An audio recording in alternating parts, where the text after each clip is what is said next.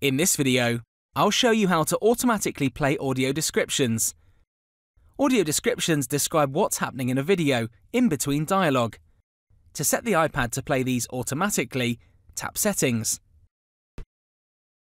Swipe up on the side panel and tap Accessibility. In the Vision section, tap Audio Descriptions. Tap the Audio Descriptions toggle switch to turn it on. When you play a video that has audio descriptions included, they will now play automatically. In a kitchen, we move to an open bedroom door. In the bedroom, Sady Paulson is reflected in a mirror.